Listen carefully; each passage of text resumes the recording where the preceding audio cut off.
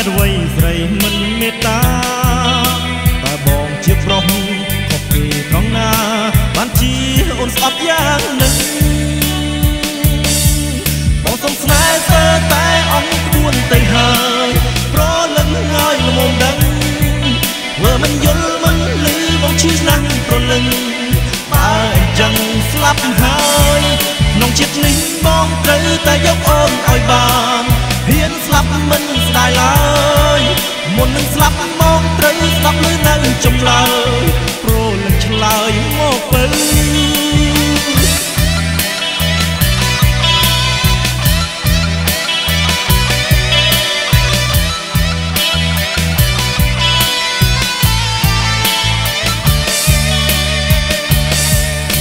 រំលឹកចិត្តគ្នារាល់ថ្ងៃតើហេតុអ្វីស្រីមិនមេត្តាតើ នស្អប់យ៉ាងនឹងបងសុំស្នេហ៍សើតែអស់ក្បួនទៅហើយប្រលឹងអើយល្មមដឹងធ្វើមិនយល់មិនលឺបងឈឺណាស់ប្រលឹងបើអញ្ចឹងស្លាប់ហើយ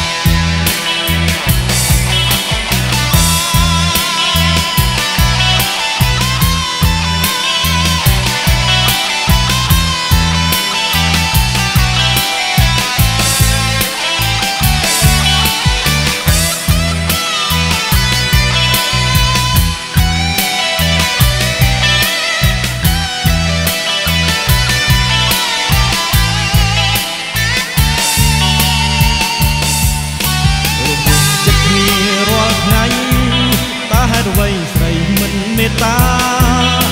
តើបងជាប្រុសខុសពីត្រង់ណាបានជាអូនស្អប់យ៉ាងនឹង